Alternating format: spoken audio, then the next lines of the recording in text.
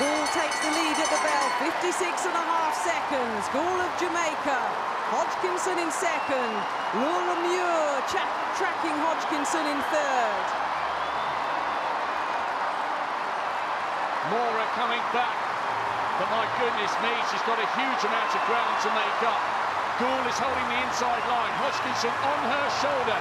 Can she do it? So often it's been silver. Is it going to be gold tonight? Hodgkinson, Goule on the inside. Moraa's pushing. Laura Muir still got a bit in the tank, the Scottish star. But Keely Hodgkinson grits her teeth.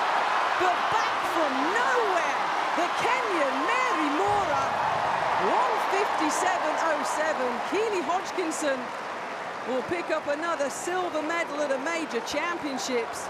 But wow, the way the Kenyan Mary Moraa ran that race to win the gold medal was absolutely astonishing but outstanding.